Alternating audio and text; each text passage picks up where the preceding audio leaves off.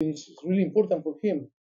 but I need to be honest. I think he need to yes uh, use this type of game and, and score the goal and tilt the net to, to improve and improve not only in his fitness or his capacity of uh, work ethic, it's not in his uh, body language also. He need to be, you know, to step up and to go forward and to move. He need to smile more, a little bit more positive. You know, I think he's in the, the way that he need to improve and he's going to improve in his game. The potential is amazing. We are talking about uh, one of the the young striker, I think, in, here in England or in Europe, I think with most, most uh, potential.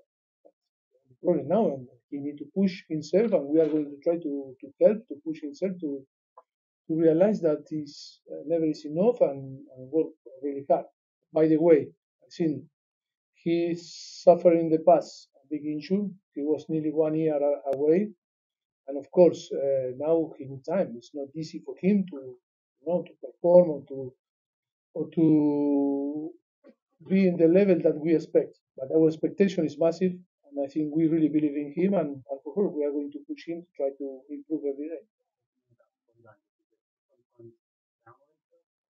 I don't know, maybe in English my my English is not so good. I said I said to him when we go out there, smile because we score, you know. Um,